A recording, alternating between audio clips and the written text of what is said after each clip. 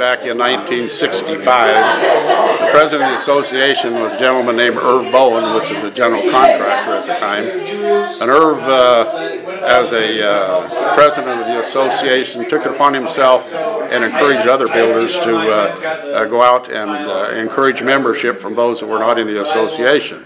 So Irv came out on the job, personally came out on the job, confronted you, gave you some information on the association, and uh, after that, that wasn't his last association with you. He made certain that he followed up and made a call.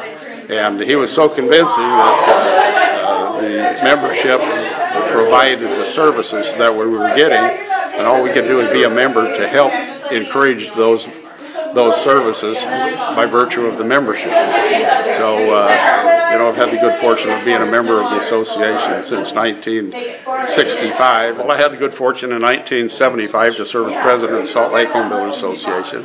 And as I look back in 1985, I served as president of the State Association and I had the good fortune to serve as a uh, national director and on many occasions went back to the uh, directors meetings uh, in cities around the country and also to Washington D.C. And it's, uh, it, you, fi you find out how vast the association is and what it takes in order to combat the legal system and the political system to keep the fair the, the, the, market system so that it's fair. You don't know what the rest of your life is, but uh, you know as long as as long as I'm still a building, and I don't plan on quitting quite yet that I will be a member of the Home Builders Association.